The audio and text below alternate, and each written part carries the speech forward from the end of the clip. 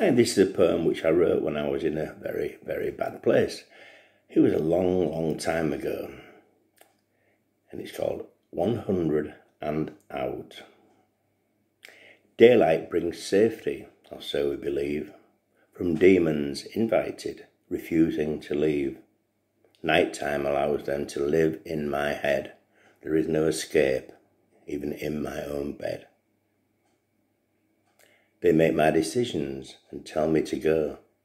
I know deep inside I should just tell them no. But as voices grow louder, possessing my brain, I'm searching for strength so that I can remain. As I hope for a future, I feel it can't be. My mind is being invaded and I cannot find me.